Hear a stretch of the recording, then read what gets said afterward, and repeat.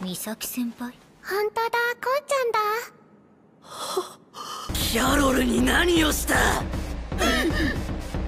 お前か？お前がキャロルにいかがわしいことをしたのか？とぼけるな！あんな純粋で優しい子にお前は！お前は！こうちゃんが怒ってくれてる。